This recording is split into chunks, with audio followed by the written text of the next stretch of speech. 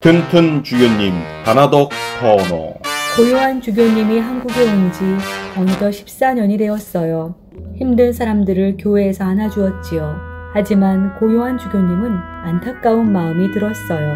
이 사람들과 더 가까이 지내면서 도와줄 사람들이 필요한데 한국으로 오는 선교사들은 부쩍 줄고 1904년 무더운 여름날 고요한 주교님은 신부님들과 교인들에게 편지를 썼어요. 한국 성공의 첫 번째 주교로서 나와 함께 해준 여러분들에게 미안한 마음이 듭니다. 죽을 때까지 내 자리를 지켜야 한다고 믿었는데 아무래도 이제 내 힘으로는 부족한 것 같습니다. 한국말도 늘지 않고 주일학교도 잘 돌볼 수 없으니 나보다 여러분을 더 힘차게 도와줄 새로운 주교님이 필요합니다. 한국 성공회의 첫 출발을 열었던 고요한 주교님은 새로운 일을 할 수 있는 주교님이 필요하다고 생각했어요. 바로 그때 터너 신부님이 생각나는 게 아니겠어요? 터너 신부님, 8년 동안 나와 함께 한국에서 일했는데 이제 다음 주교가 되어줄래요? 네? 제가요? 터너 신부님, 아니 다나덕 신부님 부탁합니다. 단아덕 신부님이라면 한국 성공회에 큰 도움이 될 겁니다. 그래야 나도 마음 편히 한국을 떠날 것 같아요. 이듬해 1905년 1월 25일 웨스트민스터 성당에서 드디어 단아덕 신부님은 주교님이 되었어요. 존 코프 신부님이 한국을 위해 고요한 주교님으로 사셨던 것처럼 저도 한국에서 단아덕 주교로서 책임을 다하겠습니다. 하느님의 나라를 위해 헌신하겠습니다. 오랫동안 한국에서 선교 활동을 했던 다나덕 신부님이 한국 성공회의 두 번째 주교님이 되자 새로운 선교사들이 왔어요. 터너 주교님, 제가 왔어요. 무엇을 도와드릴까요?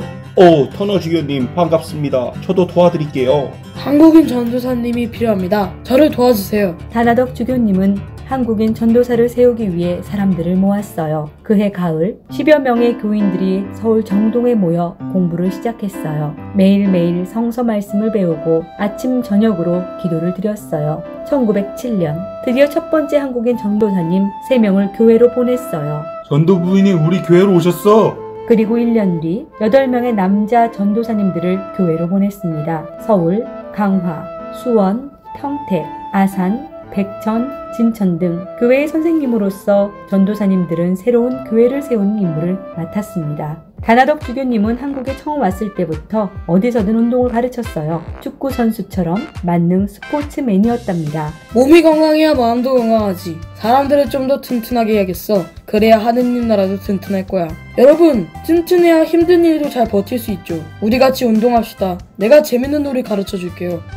외국 사람들은 왜 이렇게 힘이 좋아? 하나덕 주교님, 같이 가요. 우리 힘을 기릅시다. 자, 자, 이쪽으로 패스, 패스. 다나덕 주교님은 서울에 있는 영어학교에서 영어, 체육 선생님이 되었고 한국의 축구 선구자가 되었습니다. 그 뒤 황성 기독 청년회 지금의 YMCA를 세우는 데 힘을 쏟았고 3대 YMCA 회장이 되었습니다. 그리고 교육에도 관심이 많았던 주교님은 정동, 온수리, 수원에 여자학교를 세웠어요. 1908년 다나덕 주교님은 전국을 네 군데의 선교 지역 서울, 강화, 수원, 진천으로 나누었습니다. 교회는 더욱 성장하게 되었어요.